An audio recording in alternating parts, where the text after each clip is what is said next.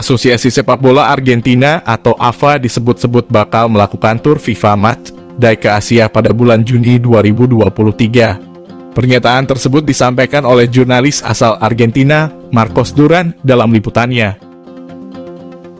Usai jadi juara Piala Dunia 2022 di Qatar, AFA selaku induk sepak bola Argentina ingin memaksimalkan potensi para bintangnya. Juni 2023 bakal jadi kesempatan terakhir bagi negara-negara di Amerika Latin untuk menjalani laga persahabatan. Pasalnya, setelah itu, Argentina bakal menjalani agenda kualifikasi Piala Dunia 2026 zona Amerika Latin. Dua negara yang paling mungkin dihadapi oleh Argentina adalah Cina dan Timnas Indonesia. Kedua tim tersebut diketahui sudah meresmikan laga uji coba menghadapi Palestina pada bulan Juni 2023.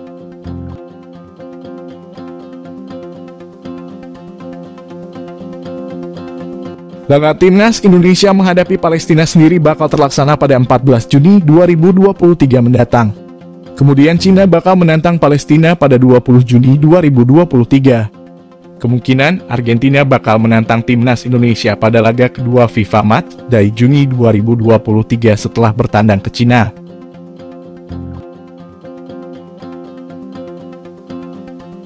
Namun sumber di dalam AFA yang dihimpun oleh Relevo menyebut bahwa kemungkinan tersebut bisa berubah. Memang untuk perkembangan terakhir sendiri, PSSI selaku induk sepak bola Indonesia sudah menjalin komunikasi dengan AFA.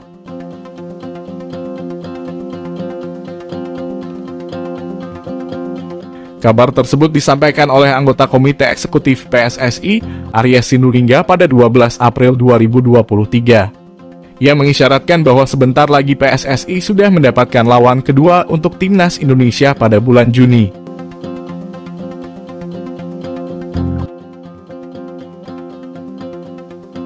Kala itu, ia masih fokus untuk mempersiapkan uji coba untuk timnas U22 Indonesia sebelum SEA Games 2023.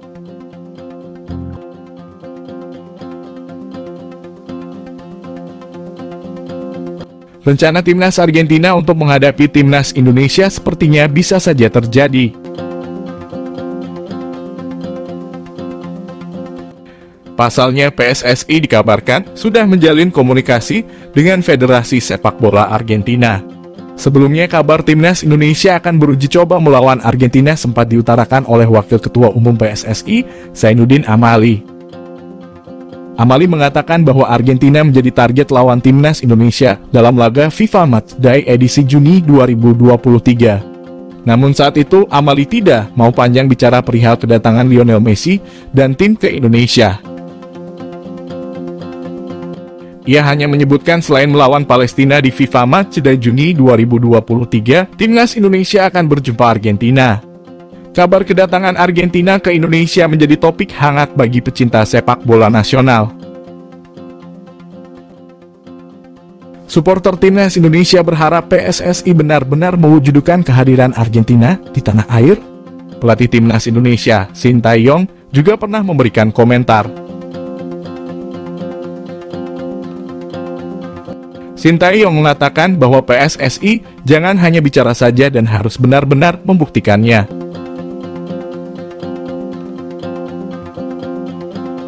Update terbaru, anggota PSSI, Arya Sinulinga, mengatakan bahwa memang belum ada kabar lagi perihal uji coba timnas Indonesia melawan Argentina. Hanya saja PSSI terus mengusahakannya. Terdekat P anggota Komite Eksekutif PSSI, Arya Sinulinga memberi kode bila timnas Indonesia membuka kemungkinan akan lawan tim dari 10 besar ranking FIFA. Sebelumnya, Arya Sindulingga sudah mengatakan PSSI akan memberi kejutan untuk FIFA Match Day mendatang. Indonesia sudah memastikan satu lawan untuk FIFA Match Day Juni 2023 mendatang, yakni Palestina.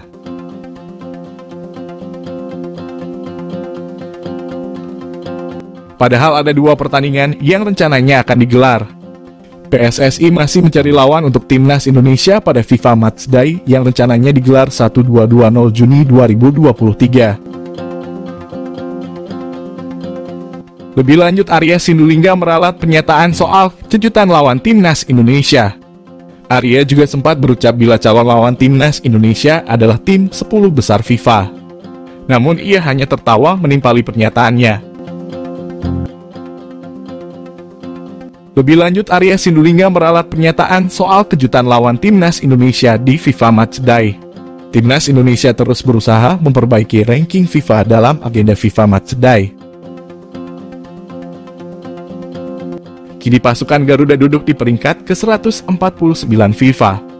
Pada agenda FIFA Matchday Maret 2023, Timnas Indonesia menghadapi Burundi di Stadion Patriot, Bekasi, Jawa Barat.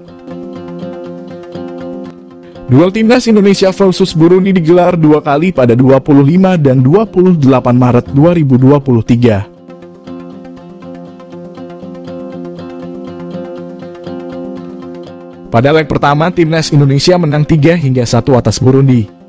Pada leg kedua, tim asuhan Sintayong itu imbang 2-2 melawan Burundi. Dua laga tersebut yang membuat Indonesia naik dua peringkat dari 151 ke 149.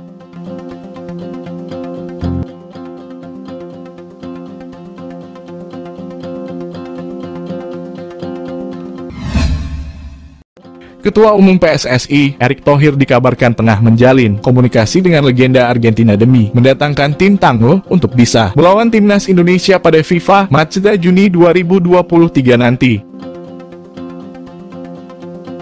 PSSI sebelumnya mengungkapkan bahwa timnas Indonesia akan menggelar laga FIFA Matchday periode Juni 2023 dengan melawan dua tim berbeda, Wakil Ketua Umum PSSI Zainuddin Amali mengatakan Indonesia merencanakan menggelar dua laga uji coba yakni melawan Palestina dan Argentina. Untuk Palestina sudah dipastikan bakal menjadi lawan timnas Indonesia pada FIFA Match dari Juni mendatang.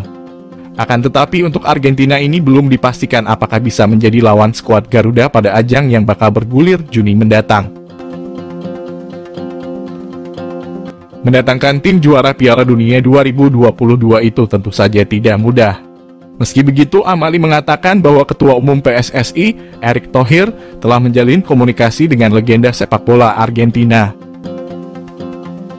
Amali menyebut Ketua PSSI tengah berkomunikasi dengan salah satu legenda sepak bola Argentina, yakni Javier Zanetti.